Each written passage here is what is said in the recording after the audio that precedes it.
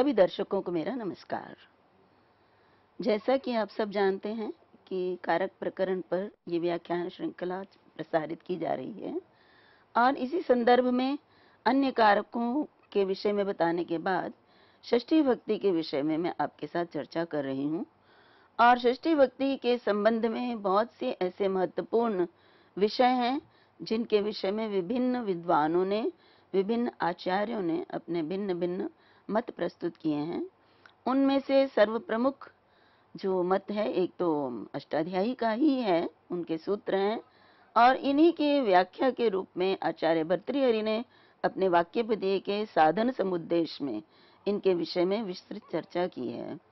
क्योंकि षष्ठी भक्ति के संबंध में ये कहा जाता है कि षष्ठी विभक्ति कारक के अंतर्गत नहीं आती है, षष्ठी को विभक्ति के रूप में ही देखा जाता है। तो इसका क्या कारण है? और क्यों इसको कारक के रूप में नहीं देखा जाता? और कौन से आचार्य, कौन से वैयाकरण इसको कारक प्रकरण के अंतर्गत भी मानते हैं? इस समस्त विषय पर चर्चा बहुत ही अनिवार्य है। तो षष्ठी भक्ति को षष्ठी भक्ति मानने का सबसे बड़ा जो कारण है, वो ये माना जाता है कि शेषे षष्ठी सूत्र, जैसा कि हमने पिछले, उसमें व्याख्या भी की थी कि षष्ठी विभक्ति शेष में होती है। अब शेष से तात्पर्य जो कारक आदि जो कर्म करण इत्यादि कारक हैं वो जिस अर्थ में प्रयुक्त किए जाते हैं उनसे अतिरिक्त जो बच जाता है। तो इनके अतिरिक्त जो क्रिया के साथ संबद्ध हो ऐसा आ, कोई बचता नहीं शेष नहीं रहता है तो इनसे जो शेष है तो इनसे शेष संबंध ही है। विभिन्न प्रकार का संबंध जो परस्पर पदों में होता है। देखिए कारक और विभक्ति में अंतर यहाँ पे ये यह है कि यदि हम कहते हैं कि कारक में विभक्ति हो रही है तो कारक का अर्थ होता है क्रियाम करोती थी तो क्रिया सिद्धि में जो सहायक होता है, क्रिया को निष्पन्न करता है, वो कारक कहलाता है। तो यदि हम कर्म, करण इत्यादि के विषय में यदि बात करें तो ये किसी न किसी रूप में क्रिया की सिद्धि में सहायता करते हैं। चाहे वो साधन के रूप में करें, चाहे वो अभीष्टतम के रूप में करें चाहे वो पृथक होने के रूप में करें तो जो क्रिया उस वाक्य में वर्णित की जा रही है उसकी सहायता करने के कारण उसकी निष्पत्ति में सहायक होने के कारण उनको हम कारक कहते हैं। क्री धातु से नूल प्रत्यय करने पर कारक शब्द बनता है कर्तृ अर्थ में। आ, तो यहाँ पर यदि हम बात करें षष्ठी विभक्ति की तो इसको कारक के रूप में ना मानने का प्रयोजन यही है कि क्योंकि ये क्रिया के साथ साक्षात रूप से संबद्ध नहीं होता है। अपितु जो वाक्य में प्रयुक्त जो अन्य पद हैं, उन पदों में परस्पर संबंध स्थापित करता है।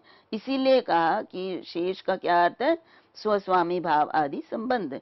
पदों में जो इस प्रकार के जो संबंध होते हैं, जैसे राग्या पुरुष तो यहाँ पे राजन और पुरुष, इन दोनों में स्वस्वामी भाव संबंध है। राजा स्वामी है और पुरुष सेवक के रूप में है। तो ये वाक्य में प्रयुक्त क्या हो रहा है? पुरुष। तो पुरुष जो है वो क्रिया के साथ उसका संबंध हो रहा है ना कि राजन का। राजन का पुरुष के साथ संबंध हो रहा है।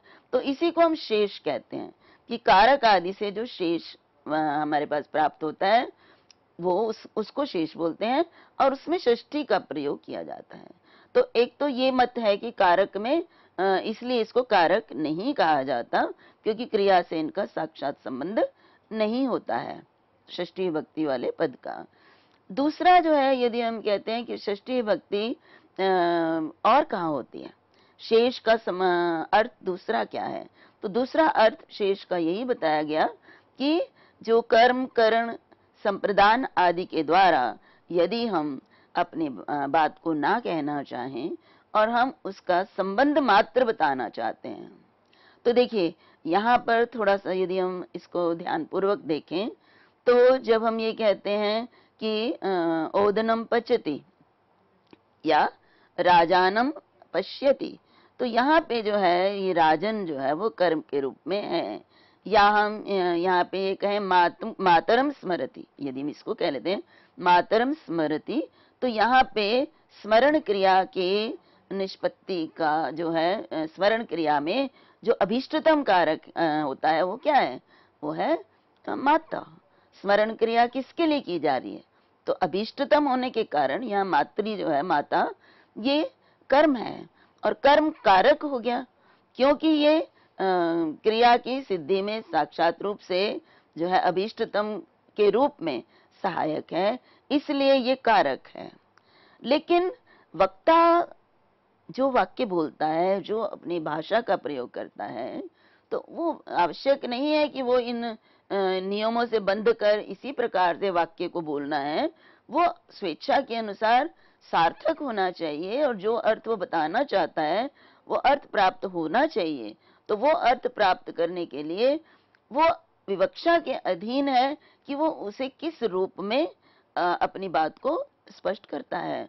तो जब कर्ता जो है, वो कर्म आदि की विवक्षा ना करना चाहे, केवल मात्र उसको संबंध मात्र दिखाना चाहता है तो वहाँ पर षष्ठी भक्ति का प्रयोग किया जाता है। वो भी शेष कहलाता है। तो कर्म आदि की विवक्षा ना करके उसे केवल मात्र संबंध रूप में दिखाना भी शेष कहलाता